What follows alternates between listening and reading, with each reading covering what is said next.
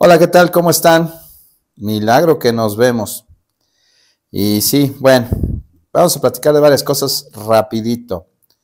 Primero, agradecerles a todas estas personas que me han llamado en las últimas tres semanas constantemente para eh, darme su apoyo al canal en cuanto a las mediciones y las cosas que estamos compartiendo con ustedes y que me retroalimentan que muchas de las cosas que se han visto aquí les han servido para este, mejorar su cadena de audio y que también eh, han tenido experiencias similares y han llegado a las mismas conclusiones. Entonces, muchas gracias a todas estas personas que se han tomado el tiempo para escribirme o llamarme.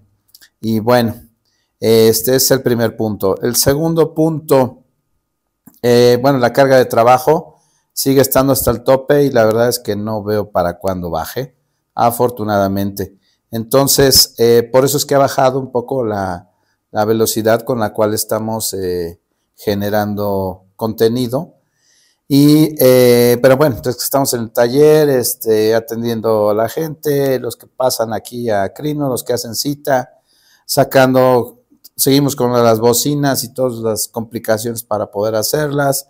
Eh, ya llegaron más pre-101, llegaron más bonitos. Les voy a explicar en otro video qué características nuevas tienen. Este, bueno, pues haciendo más publicidad y bueno, avanzando en el negocio. Entonces, la verdad es que va muy bien.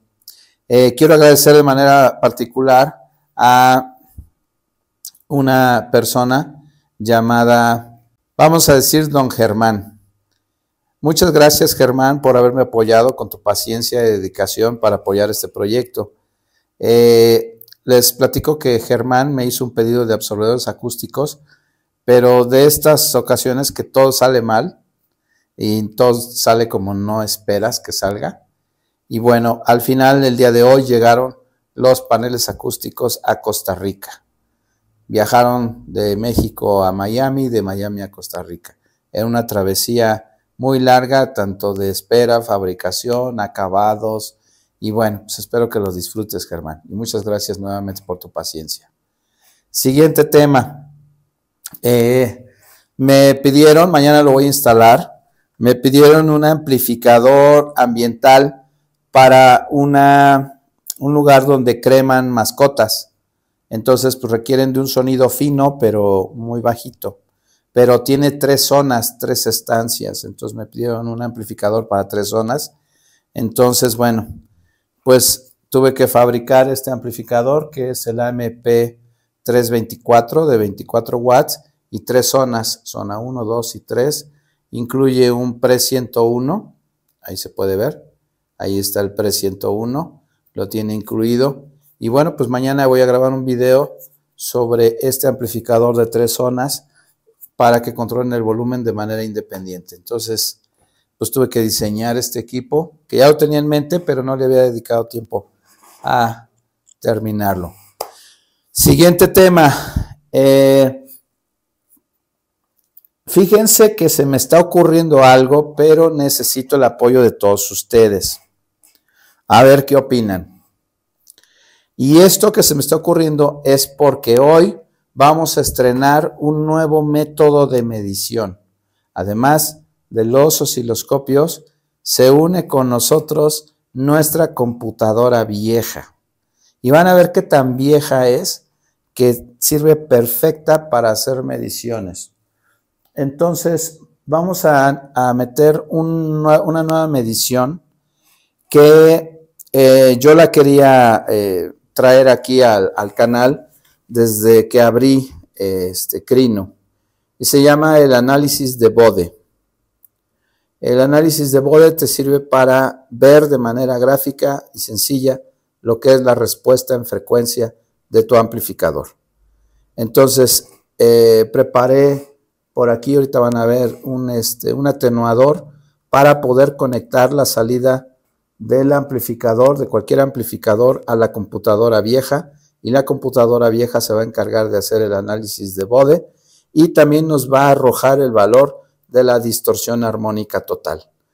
Entonces, eh, esto es algo que yo quería hacer desde mucho tiempo, pero andaba buscando instrumentos, algunos este, equipos, pero la verdad es que están demasiado caros. más de 200 mil pesos un equipo de esos y hay que traerlos desde eBay con el riesgo de que eso conlleva de traerlos desde Estados Unidos. Entonces, anduve buscando formas para sacar el análisis de bode y ya lo encontré. Entonces se va a agregar la computadora vieja a nuestras mediciones y vamos a hacer ahora ese análisis de respuesta en frecuencia en los amplificadores. Pero de ahí me surgió una idea. A ver qué opinan. Con este análisis y esto que estamos ya poniendo en práctica, vamos a poder medir audífonos. Entonces, se me está ocurriendo, por favor escríbanme en sus comentarios si están de acuerdo con esa idea. Eh, la, propuesta es que si alguno de ustedes quiere medir sus audífonos y ver la, la respuesta real de sus audífonos, ustedes envían sus audífonos, yo los recibo con todo el cuidado y con todo el respeto que se requiere para una persona que me está prestando sus, sus audífonos. Hacemos la prueba, sale en el canal, se publica los resultados y tal vez el mismo día o al día siguiente se regresan al, cliente los audífonos en las mismas condiciones y el mismo empaque en el que nos mandó. Entonces podríamos iniciar no solamente con las mediciones de los amplificadores y otros equipos grandes, sino también podríamos medir ahora la respuesta en frecuencia de los audífonos y quitarnos de una vez por todas de tanta subjetividad. Sobre las bocinas todavía no es posible mientras no tenga yo una cámara anecoica, y este, pero está en los planes, ¿eh? hacer una cámara anecoica y empezar a probar bocinas, ¿no? Y date la respuesta en frecuencia para dar más información y más certeza y ya quitarnos esos temas de subjetividad que hay por todos lados. Entonces, ¿qué opinas? Y digo, ¿qué opinas? Porque eh, el otro día en un video dije, oigan, ¿qué les parecería que les enseñara yo a usar un osciloscopio para que tengan este, un osciloscopio junto a su equipo de sonido y también vean las ondas y también sea algo este, que puedan usar? Ya ven que varios este, amplificadores vintage eh, traían osciloscopio integrado. Por ejemplo, estos de Marantz, por ejemplo, estos de Technics y de otras grandes marcas también agregaron osciloscopios. Y no sé si han visto a esta chica que está en YouTube, en YouTube, perdón, en TikTok, que es una melómana que pone música y tiene su, osciloscopio. ¿Ya la vieron? Se los recomiendo. Y bueno, el punto es que les dije que les enseñaba a usar osciloscopio, enseñar a seleccionar este, cómo comprarlos y luego cómo conectarlos a sus equipos de sonido para que lo tengan como un aditamento, este, pues ahí estético. ¿Y saben cuántas personas me, me escribieron y me dijeron, sí, sí me gustaría? Ninguno. Entonces, bueno, espero que ahora que eh, con este tema de los audífonos, este, pues a por lo menos me contesten y me digan que no, ¿no? Pero ¿qué les parecería probar equipo de esa manera? Bueno, ahora vamos por fin a mencionar la revisión que vamos a hacer de este amplificador. Es uno de la marca IOTA, IOTA VX. Eh, cuando entran a la página, ustedes pueden ver que son, eh, dicen, es una empresa de clase mundial y sus equipos son de clase mundial. Entonces, pues está bonito, está bien hecho. Bueno, entonces, este, no te despegues, suscríbete, dale like, comparte, eh, contesta. Y bueno, nos vemos al final del video para ver las conclusiones sobre este amplificador IOTA de clase mundial. Gracias.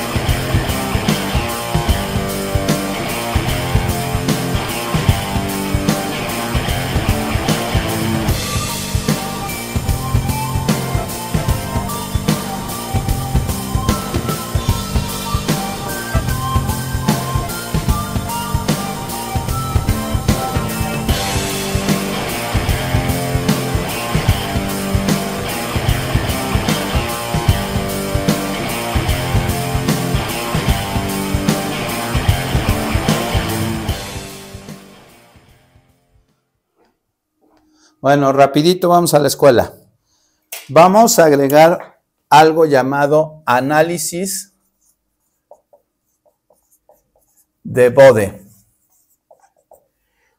Y este análisis lo que nos va a servir es para medir la respuesta en frecuencia de un amplificador, siendo en vertical voltaje o los, decibeles eh, como referencia, dBr y la respuesta en frecuencia desde 20 Hz y como aquí forzamos a los equipos, vamos a hacer las pruebas hasta 40 kHz. Entonces vamos a ver si los amplificadores sirven para el high res. Entonces puede ocurrir, bueno, lo ideal es que los amplificadores tengan una respuesta plana en todo el rango de frecuencias y ya en los extremos caiga. Eso es lo ideal. Pero hay amplificadores que van a cortar antes o hay amplificadores que van a subir su respuesta en agudos y entonces ese amplificador va a sonar un poco chillón. ¿Sale? Entonces, bueno, cuando calculas un amplificador, lo que siempre tratas es de que sea plano. Excepto los de Bose. Los de Bose hacen cosas para que te gusten más. Bueno, entonces el análisis de Bode es así. Ahora, rápidamente, ¿qué necesito? Necesito mostrarles la calibración del sistema de medición para que me crean y sepan que lo que estamos viendo es lo real. Entonces, vamos a calibrar el sistema, vamos a calibrar la computadora vieja, vamos a calibrar hasta 40 kilohertz. Primero lo que vamos a hacer es que a la computadora le vamos a hacer un puente para que lo que saque de señal lo va a recibir ella misma y lo va a graficar en un análisis de bode y la respuesta debe de ser plana. Si es plana, estamos listos para hacer mediciones. Después vamos a quitar la salida de la computadora y vamos a conectar un generador de frecuencias externo a la computadora vieja y la computadora vieja también debe demostrar que está leyendo hasta 40 kHz. Una vez que tengamos eso, vamos a poder hacer el análisis de bode rapidísimo, en segundos, y de esa manera tener una medición más. Entonces, vamos a la computadora. Este es el amplificador IOTA VX. Es bonito, muy simple. Solo tiene el botón de encendido, rojo para que lo encuentres en la noche. Tiene su display. Esta perilla es el control de volumen. Y si le mantengo apretado el botón, me empieza a salir el, el menú de bajos, agudos, balance y bueno, otros sistemas que tiene. ¿Ok? Entonces es muy simple y su salida de audífonos. Ahora, vamos a verlo por dentro. Pues tiene todo lo que buscamos en un amplificador, bien hecho. Miren, aquí llega la energía tiene una pequeña fuente para poder, manejar el standby y todas las cosas eh, que se controlan con baja energía sin encender completamente el amplificador como el botón encendido. Entonces viene aquí bien compacto. Luego activamos el transformador toroidal. Luego venimos aquí a una fuente para controlar lo que es el Bluetooth y otros sistemas que tiene de control. Pero vean lo que es lo que está bien hecho. Salen y aquí hay una fuente. Aquí está el puente de diodos, aquí hay una fuente y esto es un amplificador. Y aquí está, sale un espejo, está en espejo. Entonces canal izquierdo y canal derecho y este está espejo y están igualitos.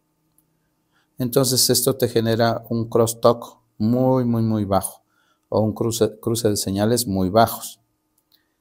Y bueno, está bonito. Son de pocos watts, es de muy pocos watts el, amplificador.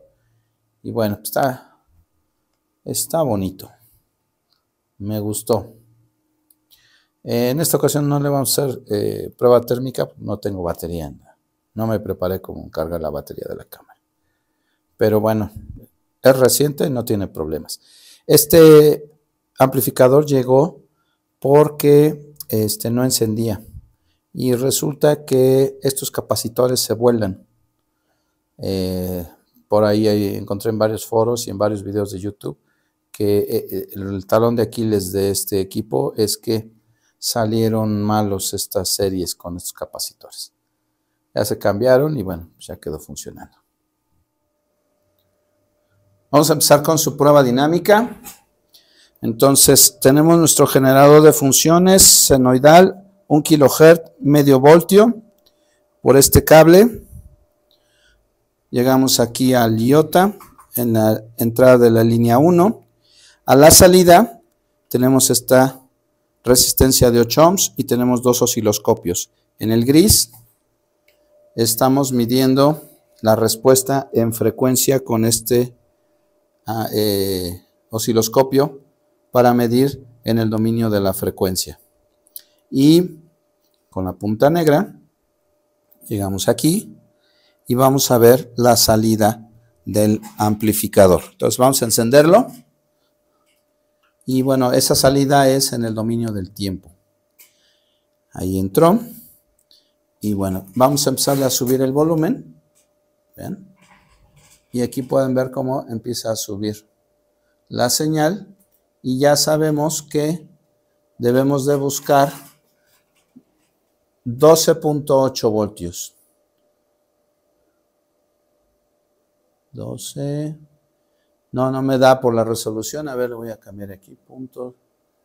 Amplitud, punto 56. Ya me pasé. Punto 53. Ahí está. 12.81 voltios. ¿Ya vieron? 12.81 y entonces ya estamos a 10 watts. Y pues, ¿qué creen? Vamos a tener que reprobar al IOTA. Miren nada más cuántos armónicos está metiendo. Se supone que debe ser solamente la de un kilohertz. Y miren todos estos que está metiendo. Y eso que es onda senoidal. Entonces, muy, muy mal. Para comprobar que es el amplificador el que está metiendo el problema y no mis equipos de medición, entonces, vamos a tomar la señal de salida del generador, que está aquí, que iba al osciloscopio de abajo. Vamos a quitar la punta y vamos a meterlo directo al osciloscopio que está midiendo la respuesta en frecuencia. Y como pueden ver, efectivamente, la señal que estoy produciendo solamente tiene una componente. ¿La vieron? solamente una componente. Otra vez voy a poner el iota. Ahí va. Y miren los armónicos que está metiendo. Muy, muy mal este equipo. Ya no pasó la prueba. Bueno. Entonces, pues qué bueno, para que no nos vayamos con la finta de que por ser nuevo, luego funcionan mejor. Este, no es que me agrade, digo, porque alguien hizo una inversión por este equipo, pero bueno, queda demostrado que no siempre, aunque tengan todas las características para decir que son una buena manufactura, a la hora de desplegar la información o de copiar la información que le estaban mandando, este, pues hacen sus cosas. Y ahora vean, la, gráfica de abajo se ve muy bien, ¿eh? pero en realidad está llena, está llena y plagada de armónicos. En fin. Bueno, vamos a hacer la prueba triangular. La prueba de onda triangular.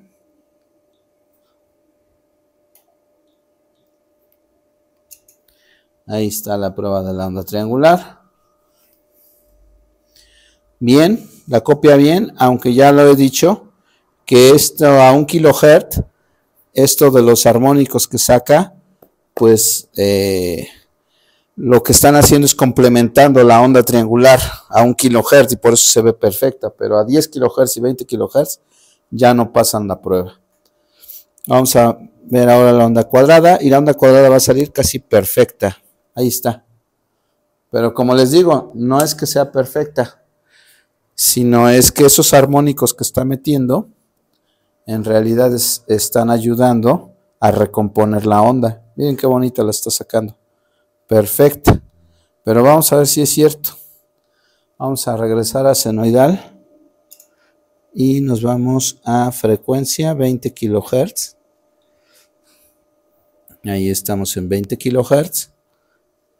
Vemos que el voltaje tiene 12.5 voltios. Y lo que les decía, miren, estamos en senoidal y estamos llenos de armónicos. Ahora vamos a poner la onda triangular.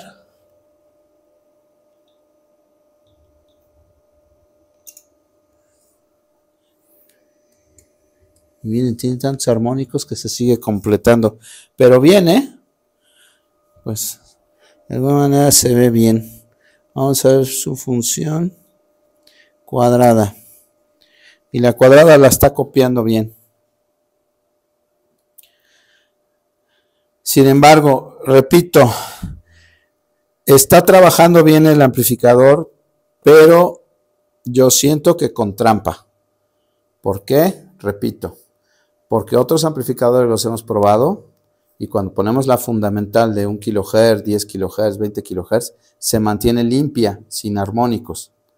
Y como estas ondas, que lo que es la triangular y la cuadrada, están compuestas por armónicos, eh, y este amplificador está generando armónicos por, por él, mismo, en realidad lo que está haciendo es complementando las, las ondas.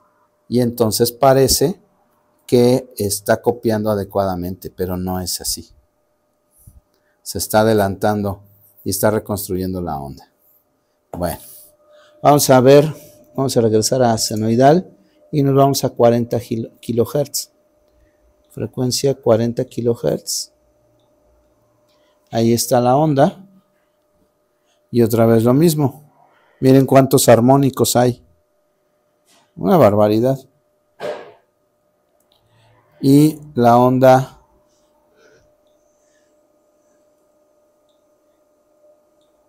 triangular y la está sacando bien, ¿eh?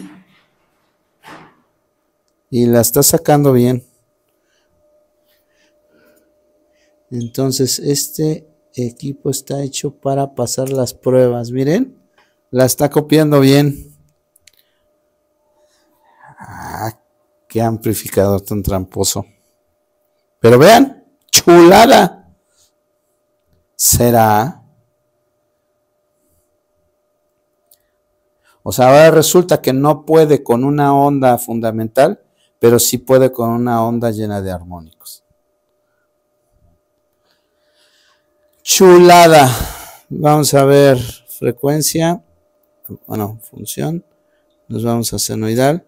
Y ahora nos vamos a frecuencia, nos vamos a 100 kHz. Ahí estamos en 100 kHz. Otra vez ahí está lleno de armónicos que no deberían de estar. Y vamos a ahora a poner la onda triangular y va a salir chulada. Sí, miren, la está copiando bien. Voy, a leer y buscar respecto a este equipo, eh, pero está completando los armónicos. Digo, si no fuera porque analizamos tantos amplificadores, pero yo ya hubiera caído. Vean cómo está copiando a 100 kHz. Los amplificadores que han pasado la prueba de la onda cuadrada, eh, hacen cosas como este. Pero cuando le pones la senoidal de 100 kHz, pues te saca la componente de 100 kHz. Y no te saca más armónicos. Y este amplificador está lleno de armónicos y miren qué bien está copiando. Bueno, pues vamos a escucharlo a ver qué tal suena. Pero yo no me la como tan, esta idea tan fácil de que sea muy bueno. No me la como. Es el primero que me está haciendo. No, apenas fue uno que también sacó muchos armónicos y a la hora de meterle la onda cuadrada la sacaba casi perfecta. Pero este, este amplificador realmente pasa las pruebas de la onda cuadrada, las pasa, pero no la de la onda senoidal pura. Qué chistoso. Y bueno, vamos a pasar a la prueba siguiente, que es la de la computadora vieja. Bien, lo primero que vamos a hacer es calibrar y demostrar que nuestra computadora está midiendo adecuadamente. Para ello vamos a hacer algo, miren. Vamos a ocupar este cable. ¿Sí? Este puerto, el que voy a conectar ahorita, aquí, es la salida de las bocinas o de los audífonos. Y esta es la entrada del micrófono.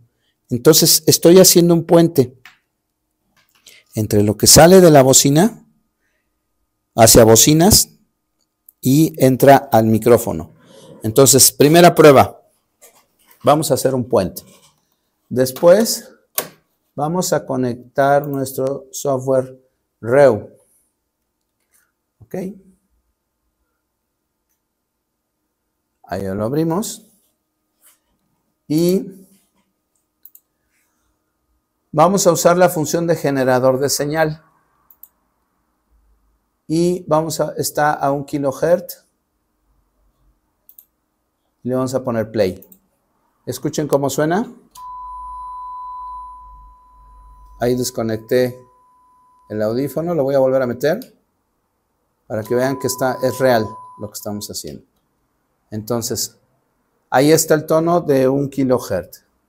Ahora, Vamos a ver en qué nivel anda. Aquí está el nivel. Y bueno, ya aparece negativo, menos 8, eso es bueno. Quiere decir que está bien.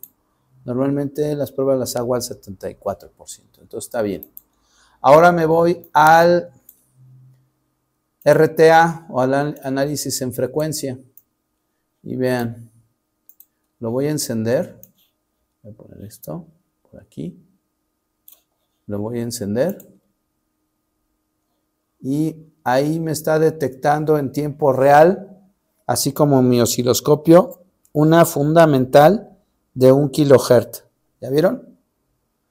Esta línea, si la ven, esta vertical, está depositada en un kilohertz. ¿Ya lo vieron? Entonces, Ahí está generando el tono puro mi computadora. Le voy a poner 2 kHz. Voy a borrar la roja. Y miren, está en 2 kHz. Voy a ponerle 5 kHz. ¿Vieron cómo está caminando la onda? Y aquí está la onda fundamental de 5 kHz. Vamos a ponerle 20 kHz. Y miren, mi computadora vieja está leyendo frecuencias de 20 kHz sin armónicos, no como el IOTA. Vamos a ponerle 30 kHz. Y miren, mi computadora es capaz de generar 30 kHz. ¿Qué fue lo que hice? Bueno, pues le cambié la salida a 24 bits, 192 kHz. Oigan, ¿y podrá 40 kHz? Pues claro que puede. Ahí está, una frecuencia de 40 kHz. Bueno, entonces ya vimos que tenemos la capacidad de medir frecuencias sin problema. Entonces ahora lo que vamos a hacer es medir el, este, el ancho de banda, lo que es el análisis de Bode. Entonces primero checamos que el nivel esté bien, ahí me dice que está bien y le vamos a poner Start.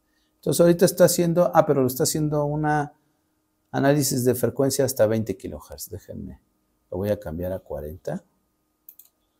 Vamos a hacer un análisis desde 0 a 40 kHz. Ahí está. Y le vamos a poner Start. Y vean mi computadora. Me acaba de dibujar una línea prácticamente recta. Este tengo que cambiar a DBR. Ahí está DBR. Ahí está. Y vean, esta gráfica verde totalmente plana en todas las frecuencias, desde 1 Hz hasta 40 kHz. Entonces, mi computadora está midiendo una respuesta plana de su sistema interno. Saqué una señal por los audífonos y lo metí por el micrófono, generando las frecuencias, el barrido, y aquí está, completamente plana. Ahora, fabriqué esta pequeña cajita que es un atenuador. Ahorita van a ver para qué. Para comprobar que las mediciones son de verdad y no platicaditas. Entonces voy a encender el generador, creo que ahí se ve todo, ¿verdad? Voy a el generador de señales que ya es externo a la computadora. Le vamos a poner frecuencia a 1 kHz y en amplitud le voy a poner 10 voltios. ¿Por qué 10 voltios? Porque es como si fuera un, un amplificador. Estamos a 10 voltios. ¿Ok? Vamos a activar la señal. Y vean aquí. Ya apareció. Entonces vean cómo en el osciloscopio tengo una señal de 10 voltios y no me está leyendo la frecuencia porque este es en el canal 2, pero es un kilohertz. Ahora, esos 10 voltios, voy a poner acá, esos 10 voltios que están saliendo aquí del generador, lo voy a conectar, fíjense bien, al atenuador mediante este cable, mediante este cable, lo voy a conectar al atenuador. ¿Ok? Ahí está el atenuador. Y ahora, aquí es donde tengo la terminal del micrófono. Va a la salida del atenuador. Y luego pongo aquí el RTA y lo enciendo. Entonces, voy a subir ahora el volumen al atenuador y miren la computadora lo que está haciendo. Voy a subirle el volumen, subirle el volumen. Y miren, ahí me está detectando una señal de un kilohertz. Pero esa señal de un kilohertz, hace ratito era de la computadora misma, ahora es de un equipo externo, que es el generador de funciones. Y aquí estoy viendo también en el osciloscopio. ¿De acuerdo? Ahora le voy a mover al generador de funciones y van a ver que la onda va a cambiar. Le voy a poner 5 kilohertz. 5 kilohertz. Y vean cómo se movió la onda a 5 kilohertz. ¿Ya vieron? Esa fundamental que está ahí está depositada sobre 5 kilohertz. Ahora le voy a cambiar al generador de frecuencias a 20 kilohertz. ¿Vieron cómo se movió? Y ahí está la fundamental de 20 kilohertz. Le voy a poner 40 kilohertz y miren, se volvió a, mover hasta 40 kilohertz. Entonces, esta computadora, así como la tengo configurada, está pudiendo medir sin menor problema frecuencias hasta 40 kilohertz. Miren cómo está el generador de funciones en 40 kilohertz. Y el osciloscopio, vean, ahorita le voy a poner esto. Le voy a poner aquí en time. Le voy a poner, ahí está. Ahorita va a aparecer 40 kilohertz. Ahí está. 40 kilohertz. Entonces, la computadora en este momento queda demostrada que tiene la capacidad para medir frecuencias hasta 40 kilohertz y su lectura es plana. Es decir, que nos va a reflejar adecuadamente lo que el, cualquier amplificador tenga como respuesta en frecuencia y con esto vamos a poder hacer el análisis de bode. Esta es la primera vez que voy a mostrar esto. Lo voy a poner también en un video separado para que lo puedan ver después. Pero ya esta explicación de la computadora me la voy a brincar para pasar directamente a la medición. ¿Sale? Entonces, vean, mi computadora vieja leyendo hasta 40 kilohertz. Bien, ahora sí viene la prueba del análisis de Bode para el amplificador. No se me hagan bolas, conforme vaya pasando el tiempo van a ir comprendiendo esta conexión. Miren, la salida de la computadora, el audio de salida va por este cable y entra al amplificador. La salida del amplificador ya con la señal llega a la resistencia de 8 ohms y con esta punta la vamos a monitorear en este osciloscopio, en el canal 2. Pero a la resistencia le acabo de generar o crear esta nueva punta, que es una punta paralela que se conecta a la caja reductora. La caja reductora tiene un control de volumen para ajustar el nivel correcto y la salida de la caja reductora va por este cable al canal 1 del amplificador y este cable verde es el que va a la entrada del micrófono de la computadora. Entonces vamos a reducir el voltaje y vamos a leer de esta manera lo que está sacando el amplificador. Entonces, así es como lo vamos a hacer. Para comprobar que todo está funcionando, voy a poner aquí en el generador del, del REU, voy a poner un kilohertz y le voy a poner play. Y vean el osciloscopio, ya me está marcando esta que es la señal que llega a la computadora de regreso y esta es la salida de la señal que va saliendo del iota. O sea, estamos a 10 watts. Estos son 10 watts de potencia. Entonces, la prueba la vamos a hacer a 10 watts para que sea igual como las otras pruebas. Si nos vamos aquí a la computadora y pongo el RTA y le pongo play, vean cómo tenemos aquí un kilohertz pero este ya es del iota. Y vean cómo también saca los armónicos. ¿Ya vieron? También salieron los armónicos que salen en el otro osciloscopio. Si yo le pongo 2 kilohertz, 2 kilohertz, y me voy al RTA, pueden ver que cambia y estoy ahorita en 2 kilohertz. Y si nos vamos aquí al osciloscopio, que es un aparato completamente independiente, está en 2 kilohertz. Entonces ya estamos leyendo realmente la respuesta del iota. Y entonces viene lo bueno, viene el análisis de Bode para este amplificador. Y dice una, voy a borrar el de mi, el de mi computadora. Ah, bueno, voy a dejar así, la, verde, a ver si nos encima, si no la quito.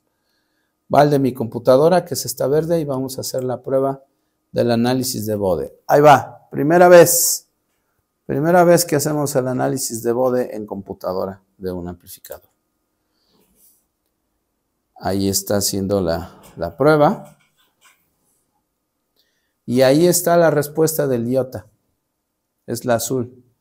La voy a hacer otra vez para que vean cómo, dándole clic, cómo hace el barrido. Miren. Vean el osciloscopio, por favor. Miren lo que hace el osciloscopio. Hace el barrido de frecuencias. ¿Lo vieron? Entonces, miren.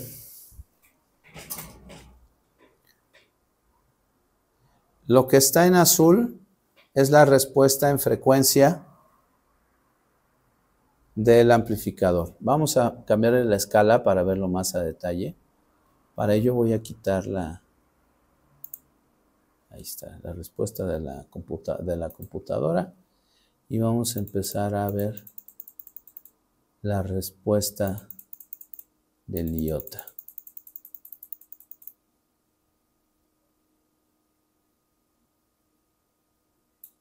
Ahí está la respuesta del amplificador. Ese es el análisis de Bode. Podemos ver que es plano, se vuelve plano desde 20 Hz y todo el espectro en frecuencias muy bien y empieza a caer por aquí. Ahora, si aquí tengo eh, me está marcando 5, menos 5.6 decibeles. Entonces, vamos a encontrar la frecuencia de corte. Menos 5.6 decibeles. Menos 3 decibeles. Cuando yo esté en menos 8.6, es la frecuencia de corte del amplificador. Entonces le vamos a mover aquí. 7, 8, 8.6 y lo tenemos a 29.9 kilohertz. Entonces, el iota está calibrado para una respuesta en frecuencia hasta 29.9 kilohertz. Se ve bonita esta gráfica, ¿no? Y bueno, por aquí tenemos una gráfica también que es la distorsión. Y vamos a poder ver la distorsión armónica total. Entonces necesito quitar todos los demás valores. Y ahí está, señoras y señores, la, la gráfica de la distorsión del iota. Y no nada más la estamos viendo a un kilohertz. La estamos viendo en todo el espectro en frecuencia. Y lo que podemos concluir es que después de 300 Hz empieza a subir la distorsión, teniendo una distorsión armónica a un kilohertz de 0.060 y va subiendo constantemente conforme va subiendo las frecuencias altas del amplificador, llegando a 20 kilohertz a 20 kHz a una distorsión armónica de .465. Entonces, ¿qué tal les pareció esta medición? ¿Vale la pena? Por favor, escríbanme sus comentarios si quieren que sigamos haciendo estas mediciones, que son bastante interesantes, donde ya podemos ver el análisis de Bode y la distorsión del amplificador que en realidad es, muy rápido, nada más es que me tardé porque tenía que dar la explicación de lo que estoy, este, de las conexiones que estoy haciendo. Bueno, y pues vamos a hacerlo sonar.